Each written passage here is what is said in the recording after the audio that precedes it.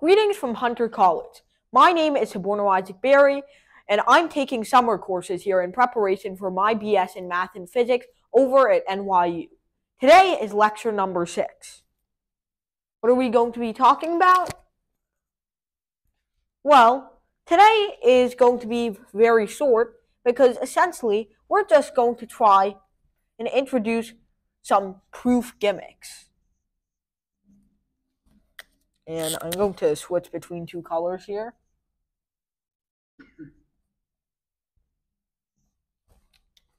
All right, so here's how I'm going to showcase all of them. So it's going to be all in this one proof. Theorem 2.2.7. What is it?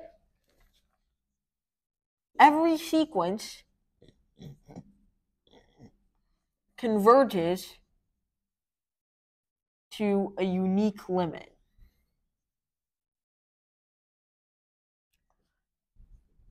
Provided they have a limit in the first place.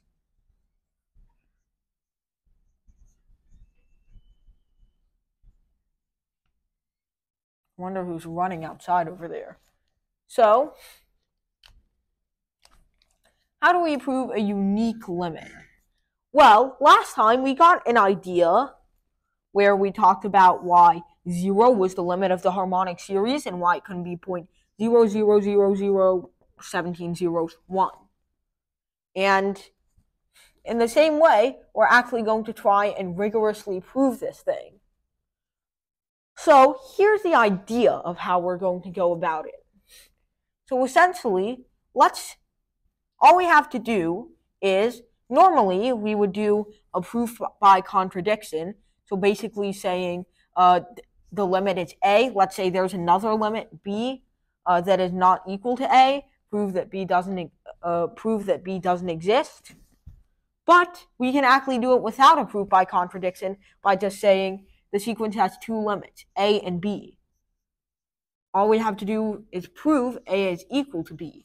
And here comes the first part of our gimmicks.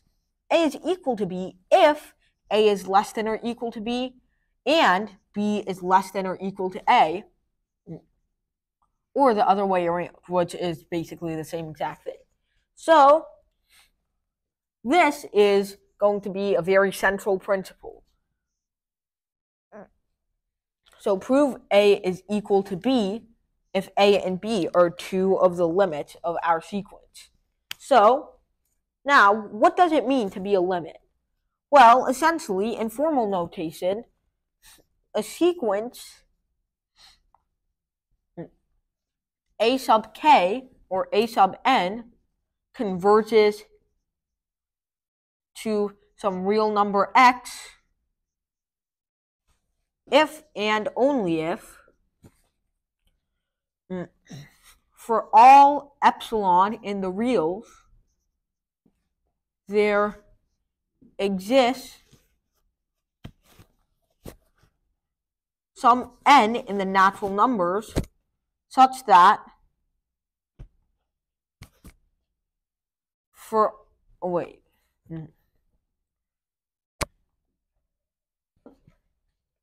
Such that a k is in the epsilon neighborhood of x for all k is greater than or equal to n. So essentially, what is all this blah blah blah saying? Essentially, what it's saying is that if we have a neighborhood of length epsilon, which essentially means we have x, any number between x minus epsilon to x plus epsilon. So it's essentially a zooming range. Like how precise do we want to be around x? So then mm, there's some point at which the sequence enters this place and never escapes. It just keeps getting closer. And if we zoom in to a much smaller neighborhood, so x minus epsilon naught x plus epsilon naught, there was still a different point where there's also no return. It just keeps spiraling in and spiraling in as we zoom closer and closer. Uh, and as we make epsilon smaller and smaller, there's still some point after which all of the sequence lies inside our neighborhood. So, that is the definition of our limit. So, another way to write it mm, essentially saying that the absolute value of an minus a is less than or equal to epsilon. Most often less, less than, so we'll use that. So let's say this absolute value is less than epsilon. In the same way, this also has to be less than epsilon for some n. So these could be two different numbers. So we'll say that for n, which is greater than n1, which is in the natural numbers, and this is also in the natural numbers, a n minus a is less than epsilon. For n in naturals is greater than n2 naturals, a n minus b is less than epsilon. so now here's what where do we go from here? We want show that a is equivalent to b. We're actually going to figure out another definition of a equals b, and essentially that's when the absolute value of a minus b is less than epsilon for all epsilon in the real numbers, which is essentially the same thing as this. Mm. So, now with that, what can we do? Well, here's the thing right now. So, we can make this less than epsilon for all epsilon and for all epsilon over here. Of course, that's literally part of the definition. We're, by the way, we're assuming that epsilon is positive. Because there's no setbacks to assuming that, and also, if it was negative, this would literally never be true. Because it's, you know, an absolute value, always positive. So, now, here's where the triangle inequality comes in. And that's another one of our tricks, you see? So, here's what we do. Mm. We take a minus b, right? Now, what is that? Can't we just add, or rather subtract an, and then add an again? Is this anything different from that?